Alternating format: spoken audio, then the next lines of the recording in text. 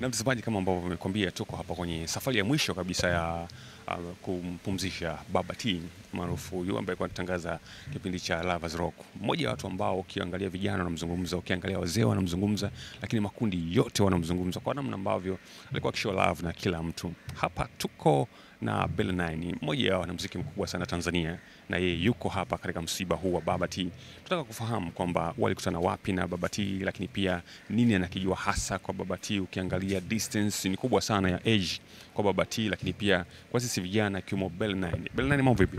Eh, bana da fresh ndugu yangu, Pole na msiba.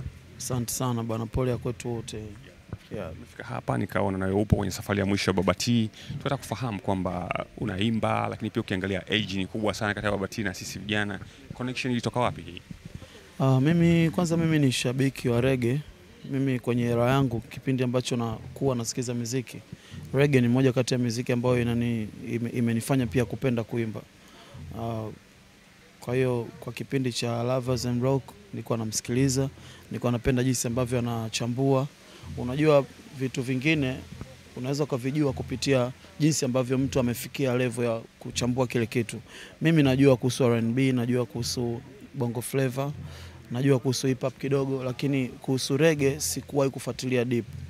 Lakini sasa kupitia yeye nikawa najifunza vitu zaidi ambavyo navijua kwa uchache kuhusiana na rege, ukizingatia kipindi ambacho mimi na, na, na, na, nasikiliza huo mziki sana ndo kipindi cha uh, kina Chris Martin uh, kina Beres Hammond. Ha, Beres Hammond ni wa muda kidogo, lakini kuna wengine wengi niliwafahamu na historia nyingi nilizijua kupitia kipindi chake, lakini ni, nilikuwa nakutana naye mara chache, ile habari za saizi tu, lakini kuna siku moja nakumbuka ambayo nilikuwa niko na uh, niko na interview pale, nimemaliza natoka, nikakutana naye.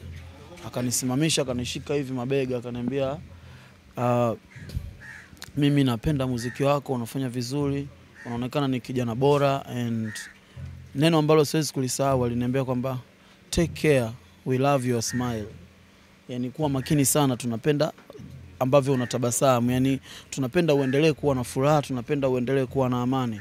Yani ni neno ambalo kiukweli juzi tu nilikuwa naliongelea hapa, na mara nyingi ilikuwa kwenye stori zangu nyingi nilikuwa naongea, kwa sababu unajua watu wanaweza kukutana na wewe lakini wasikwambie maneno ambayo yanamaanisha zaidi ya kile ambacho kinatakiwa labda kumaanishwa. As a presenter, labda angeniambia tu napenda mziki wako, labda naweza kupa connection labda ya emails za watu na nini vitu kama hivyo, lakini aliniambia kuwa makini, napenda tabasamu lako. Yani ni neno kubwa sana kwangu mimi, ni kitu ambacho amekiacha na jinsi ambavyo nitamwenzi ni kuendelea kuwa makini, kwa sababu sisi unajua vijana tuna mambo mengi, kama unavyojua muziki pia ni biashara ambayo ina changamoto nyingi. Kwa hiyo mtu akikueleza neno kama hilo, manake ana ule upendo ambao umepitiliza kutoka kwenye kile ambacho kimetuconnect, yani ni, ni upendo wa mbali sana. Kwa hiyo naheshimu na, na, na, sana maneno yake na nimeguswa sana kiukweli na msiba huu. Ukiangalia, ukiangalia watu wengi wanapokuwa wanafikia level fulani either ya fedha nyingi ama umaarufu, yeah. wanakuwa na zile tabia fulani za kuwa classify watu, lakini ukimzungumza Baba T, karibu kila mtu ana anamsema kwa namna moja kama ambavyo wewe umemzungumza. Labda hii inatuachaje sasa? Leo Baba T yupo, sisi kama vijana na watu ambao tulikuwa tunamtazama, nini tuchukue hii? Uh, mimi nadhani ni kuna haja ya kujifunza maisha nje ya hii fame kwa sababu fame ina nafasi yake, lakini ina sio kitu ambacho kinadumu. Yeah, kulikuwa na kina Bob Marley, kulikuwa na kina Michael Jackson. Kwa hiyo kuna, kuna maisha nje ya nje ya umaarufu wetu. Kuna, kuna, kuna vitu vya kushare zaidi ya kile ambacho kimetuconnect.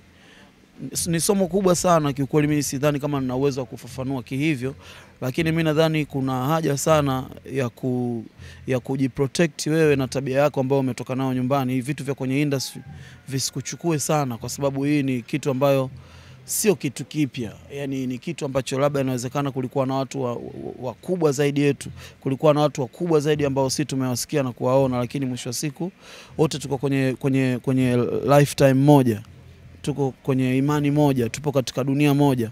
Kwa hiyo ni, ni kitu ambacho kiukweli somo lake ni kubwa sana, na tusilewe sana haya mazingira ambayo yapo, yani kuna, kuna other side yeah.